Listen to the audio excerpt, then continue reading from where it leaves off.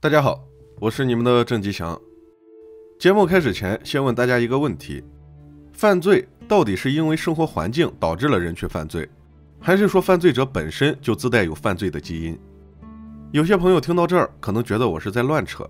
犯罪基因真的存在吗？还真的存在。所谓的犯罪基因就是单胺氧化酶 A 基因，MAOAL。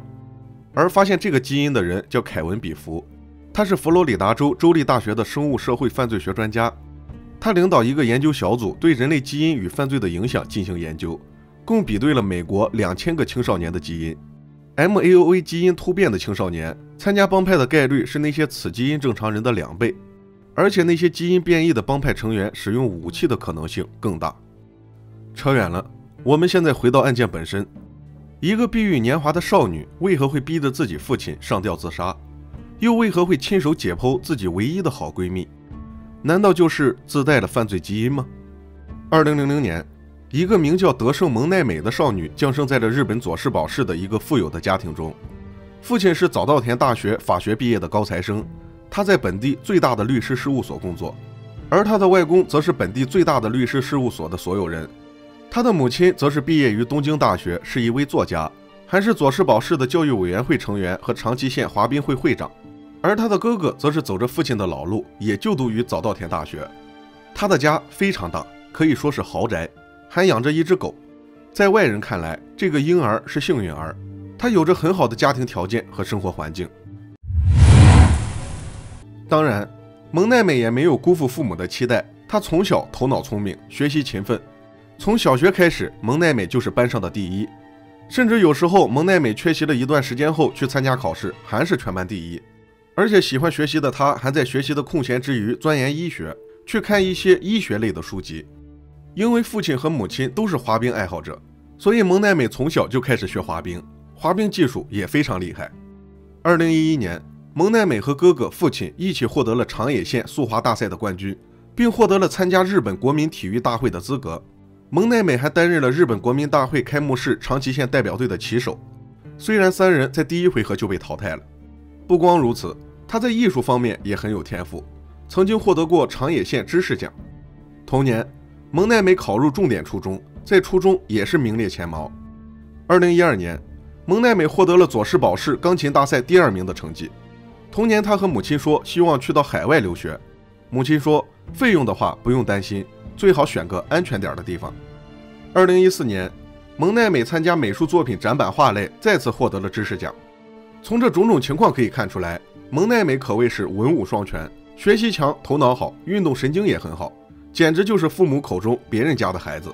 但是这些都是表象，他内在的黑暗却没有被人们所看到。从小学开始，蒙奈美会突然在课堂大叫，或者突然间在课堂上哭。由于他的情感变化起伏非常大，所以班上的人都把他当成了怪人，没什么人和他进行交往。虽然同学们认为他很温柔，但是性格过于古怪，所以最终还是孤立了他。而蒙奈美对此怀恨在心。到了后面，蒙奈美经常不去上学。他说，哪怕偶尔来学校，也会因为被孤立而没有办法和别人搭上话。二零一零年十二月上旬，在他六年级的时候。发生了一起非常恶劣的事件，他五次给两名同学的食物中混入异物，并且还问其他同学要不要一起做。不知什么原因，共有四次都是瞄准着女同学做的，按顺序分别在食物里放了水、苯、液体漂白剂、洗鞋子用的粉末洗涤剂。第五次则是对男同学的，在他的食物中放了洗衣粉。在和两个孩子的父母道歉和解之后，学校给这个班配了一个生活指导员。以防此类事件再次发生，并对蒙奈美和其父母进行了高达十五次的劝告和教育指导。由此可见，蒙奈美虽然学习好，但是她却没有把学到的东西用到正确的地方。还记得前文提到的蒙奈美利用课余时间学习医学吗？其实她学医学是为了去解剖猫，她还多次把解剖过的野猫尸体放在路上。这些事情在同班已经传开了，甚至还有人报警。但是警察只是做记录，并让校方去对蒙奈美进行开导教育，自己却没有任何行动。二零一一年，蒙奈美入读初中，这种症状不但没有得到缓解，反而越来越严重了。蒙奈美经常给其他同学的饭菜混入异物，老师对此也很头疼。而且蒙奈美在初中时期多次虐杀猫，之后将它们进行解剖。后来慢慢的，不单是猫，其他小动物也被他杀死解剖。据他后来供述说，他从初中时代就有强烈的杀人欲望，这种欲望越来越没有办法忍受住了。前文提到，在二零一二年的时候，母亲答应了蒙奈美出国留学的要求，但是母亲却在二零一三年十月的时候因胰腺癌去世了。所以蒙奈美的出国计划也暂时落空了。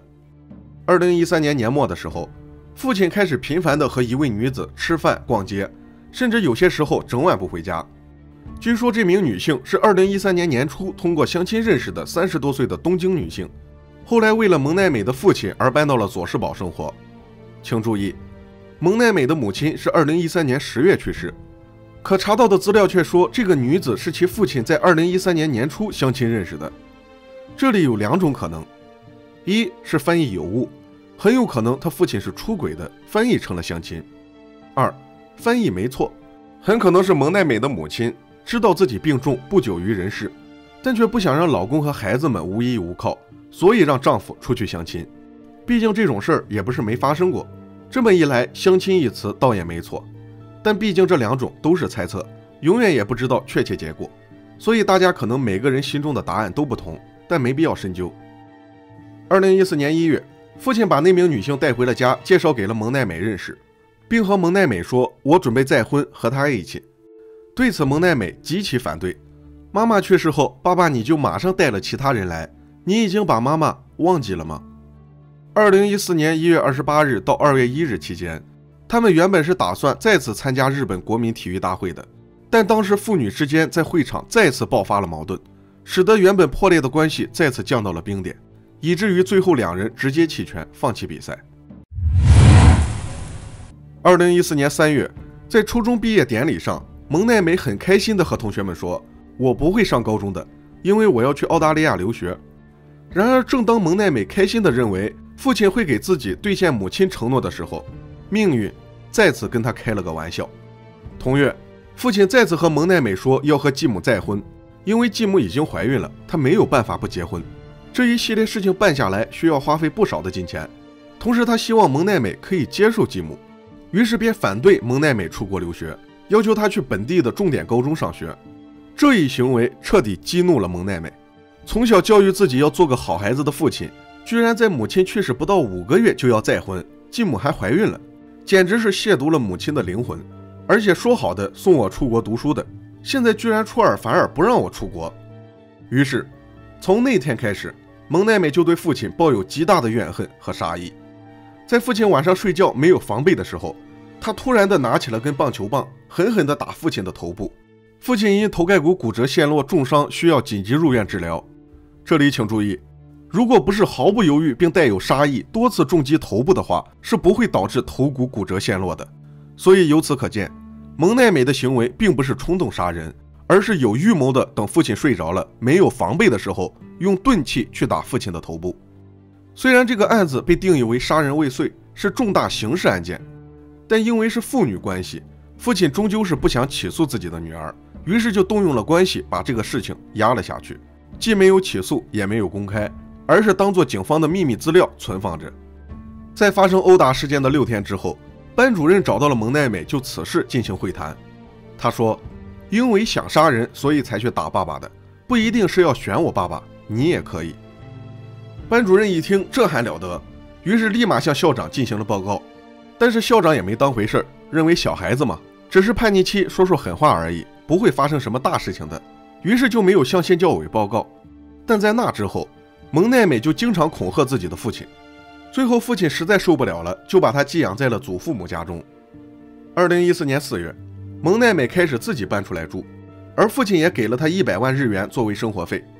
从搬到新房子一个人开始住到九月，蒙奈美整整逃课了一学期，上学的天数仅仅只有三天，其他时间蒙奈美几乎都待在家中，或是漫无目的的外出，把自己封闭在自己的世界里。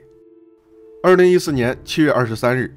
蒙奈美在和继母的谈话中说道：“她很享受杀掉猫时候的感觉，也很想杀人看看。因为这次谈话，蒙奈美的父亲终于忍无可忍了，于是父亲与继母两人于二十五日这天就把蒙奈美送到了医院，并且对医生说自己女儿的病情非常严重。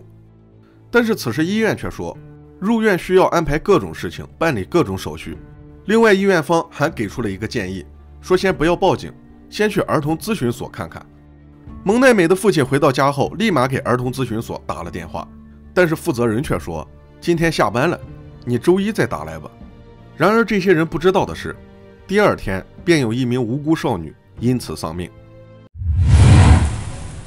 松尾爱和是蒙奈美唯一的一个好朋友，两个人在七月二十六日早上到佐世保内的繁华街，高高兴兴地逛完街，买完东西后，就回到了蒙奈美的公寓中。晚上八点至十点期间，蒙奈美用工具对松尾爱和的后脑勺多次进行击打，然后用牵狗绳狠狠地勒住爱和的脖子，用力把他给勒死。之后，蒙奈美很冷静地把爱和的头和左手砍了下来，然后用刀子剖开尸体，把里面的内脏什么的全掏出来，还丧心病狂地把解剖后的照片拍了几张发到了网上。在把爱和身体解剖完之后，蒙奈美去洗了个澡，换了衣服，并且把犯罪现场进行了简单的打扫，似乎是打算销毁证据，还把自己的手机扔在了五楼，企图不被警方发现。而另一边，由于爱和一直都没有回家。家人也一直联系不上他，于是便报了警，请求警察去寻找爱和。作为和爱和最后一个接触的人，警方很快就查到了蒙奈美的头上。二十七日天还没亮，警方就去到了蒙奈美的公寓。而蒙奈美在警察对于爱和的例行盘问时，竟然全都说不知道。察觉到不对劲的警察立刻冲入室内，在蒙奈美的床上找到了朝上的爱和残躯和一把长长的锯子，又在床底发现了一把石锤。并在其他房间中找到了爱和的头以及被切断的左手。对于剖尸，蒙奈美的解释是：“我只是想看看人体里面有什么而已，我只是单纯的想杀人，然后剖尸看看而已。”而关于两人之间具体的过节，蒙奈美却什么都没说。在后面的调查中，蒙奈美说：“是我用锤子殴打他，并用绳子把他勒死的，全都是我一个人干的。至于为什么杀他，是因为他运气不好。其实我杀谁都可以。”在审讯中，蒙奈美对自己的犯罪行为，对自己杀了唯一一个好朋友这件事，一点后悔的心情都没有，甚至没有一丝反省的样子。相反，他说的很平淡，貌似这只是一件跟吃饭喝水一样普通的事情。七月二十八日，正是儿童咨询所上班的日子，可惜他再也没有机会去了。警方正式逮捕了德胜蒙奈美，而这一天刚好也是蒙奈美十六岁的生日。长期地方检察厅对其精神状况进行了检测，并于八月八日在佐世保简易裁判所内进行了精神鉴定判决和报道。医务人员认定蒙奈美具有负刑事责任的能力，因此长崎地方检察厅希望蒙奈美以与同年人相同的标准作为刑法等同案件进行刑事审判。然而案发时蒙奈美只有十五岁，未到原则上可以被定罪的年龄，所以长崎家庭法院决定将他送到三等少年培训学校。这个三等少年培训学校有点像咱们这儿的少管所加精神病院，收容一些十二岁到二十六岁身心残障的人。而长崎家庭法院的这一判决引起了长崎地方检察厅的不满，他们认为蒙奈美再犯的可能非常大，这么判的风险太高了。然而不满归不满，法院的判决并没有改变。二零一五年七月，蒙奈美被正式送到了三等少年培训学校。因未成年保护法，所以具体被送到了哪个学校是保密的。不过，在日本被归类为第三类少年培训学校的，只有东京府中市的关东青少年医学培训学校和京都府宇治市的京都医学青少年培训学校，所以就这两者之一。据悉，蒙奈美现在的精神鉴定结果是，对那时候自己的所作所为有反省和悔意，但不足以回归社会，仍需要继续教育纠正。所以在二零二一年九月十五日。长崎县地方法院宣判延长蒙奈美三年受教育的时间。算算日子，现在蒙奈美二十三岁。前文提到，三等少年培训学校只收纳十二到二十六岁的人，所以蒙奈美很有可能会在二零二四年重返社会或者进监狱。这取决于到时候对他的精神检测结果。在蒙奈美被捕后，他的父亲面对媒体时表现出了一脸无奈和歉意：“我不是故意不带他去医院的。”我们去了很多医院都没办法，我感到十分抱歉。我的孩子犯了错就该受到惩罚，而这起事件还远远没有结束。因为这起未成年杀人抛尸案在当时引起了极大的关注，各大媒体都在争相报道这件事。由于是未成年，所以媒体对名字加以更改，并且是不会放被害人和凶手的照片来进行报道的。可是时代变了，在网络的世界里，可没人管那么多。逐渐的，网上开始爆出各种消息，受害者的照片以及凶手的照片、名字等信息都被报道了出来。随后没多久。蒙奈美的哥哥因为这件事被早稻田大学开除，从此下落不明。事后有朋友说，他哥哥一直想成为一名律师，却再也没有了机会。而他的父亲则每天都被各种电话骚扰，工作也没办法完成。最后迫于压力，在二零一四年十月在家中上吊自杀。然而对这一举动，日本有些网友却讽刺为是在逃避责任。当警方在处理蒙奈美父亲尸体的时候，还把蒙奈美带到现场。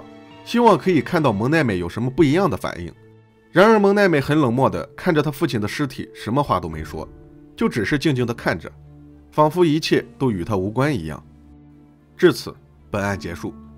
这个案件本身一点都不复杂，相反十分简单，并没有以往一些案件那么难那么绕。但是回想一下，以往讲过的一些案件中，凶手大多是自己家里穷，或者有一些很悲惨的人生经历。